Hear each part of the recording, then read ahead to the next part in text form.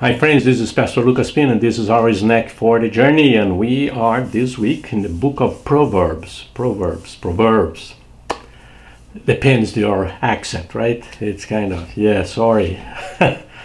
my, my accent is from the south, not from the south of America, from the south of Latin America, all the way in Brazil. So this is a kind of sound a little bit different. Yes, it's me, but uh, it's uh, but it's a beautiful book, the book of Proverbs, Proverbs, Proverbs. But it's a beautiful book, great book.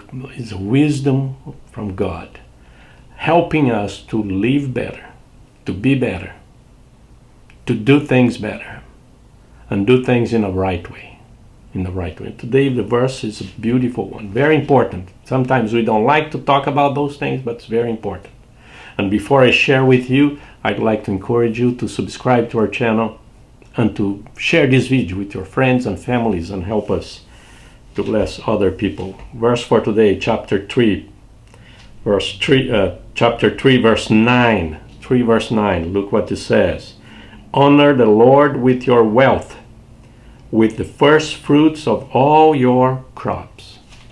Honor the Lord with your wealth. What you have. The first purpose of everything that you have is to honor God. Is to honor God. To glorify Him to help him to be known to everybody. Honor the Lord with your wealth. So this is important because this is will help us to understand how to get the wealth.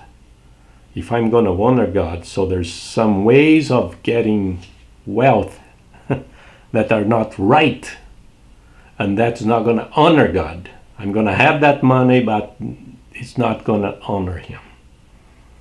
So it's very important for us to understand that. And then he goes and says, with the first fruits of your crops. The first thing that you have to give every time, and we do this here. Uh, uh, the, uh, the, first thing when we, we got the money, the first thing that uh, Martha, my wife, does is to separate our tithe. How much did you get? 10% goes to the Lord. No matter what kind of money I got all the money that I receive, the first thing that we do is separate the first fruit, the first fruit.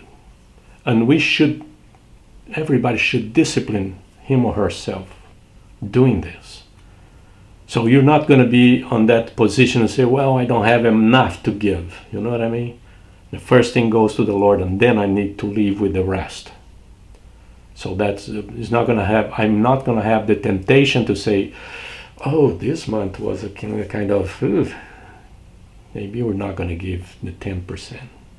You know what I mean? It's kind of we're going to avoid to give that because and some people they do that. They they they decided to give the tithes at the end, and then the end you don't have enough, and then you don't give what you're supposed to do, and then you don't honor the Lord. And that's strict. So the, the, the, the, the, the teacher here tells us, hey, give right in front, right up front. And then you leave with whatever you have left. That you have to control everything else. Because we're going to honor the Lord first with our wealth. And it's a great lesson for all of us. And this is our snack for today. God bless you.